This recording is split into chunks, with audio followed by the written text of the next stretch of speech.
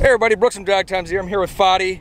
We've up, been guys? talking for what, like, I don't know, 10 years Yeah, online. so never met him before, but finally he's down in Fort Lauderdale. We hooked up, we're doing some fun racing stuff. I'm here with the Tesla Model S P100D, which does 0 to 60 in 2.5 seconds. So we got this 100D right here, which I tested a few days ago and got 0 to 60 in 3.6 seconds. A lot of people are asking what the difference is and if it's worth it. If it's worth 2.5 seconds to 3.6, the cost difference on the same equipped car is $36,000. So is $36,000 worth it? What does 2.5 to 3.6 really look like? Well, we're about to do that. Fadi here's never driven a Tesla before, so we're gonna put him in the Tesla Model S P100D with Ludicrous Plus activated. He's got really fast cars, twin turbo Lamborghinis for years, but I don't know if he's doing 0 to 60 in 2.4. I don't think so. Maybe not. So it'll be interesting to get his reaction after the race too. Uh, we're just gonna do a short little sprint, but we'll see what the, the difference is and see. And you can tell us, is it worth $36,000 from the 100D to the P100D? So let's head out and do it. All right. All right.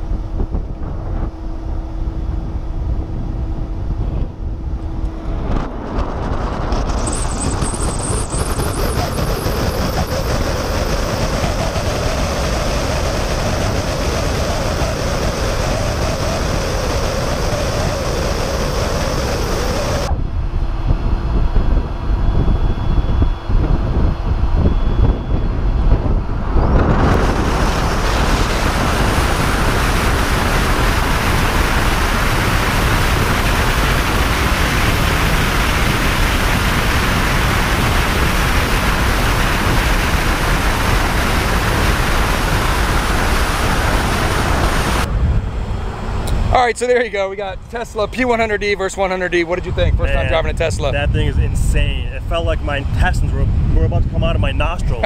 Nuts. and he drives fast cars.